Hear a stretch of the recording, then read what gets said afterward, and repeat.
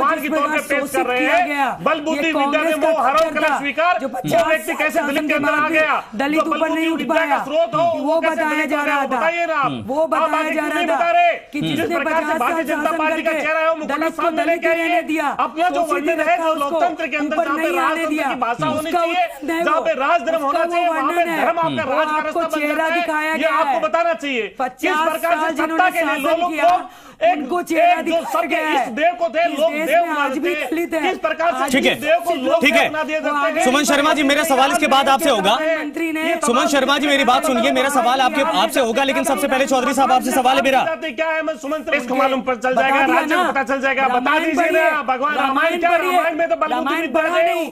आप लोग दलित बता रहे भगवान राम की जाति बताइए रामायण तो आप अरे भगवान राम की जाति बता के जाइए। सुमन जी भगवान राम की अरे गीता के आप उपासक को हो शास्त्रों के आप ज्ञाता हो।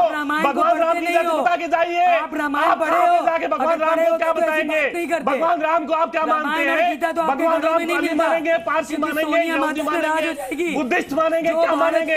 भगवान राम को आप क्या बोल सकते हैं? अरे नहीं अरे जिनकी शहादत की से देश देश राम के अस्तित्व पे सवाल उठाए, हो उनसे आप पूछते हो। कर रहा है। जिन लोगों ने अपने खून का कतरा कतरा देके देश नहीं की रक्षा की हो जिन लोगों ने इनके नेता, इन्होंने कहा राम अस्तित्व की नहीं है और ये ठीक है ठीक है आरसी चौधरी साहब।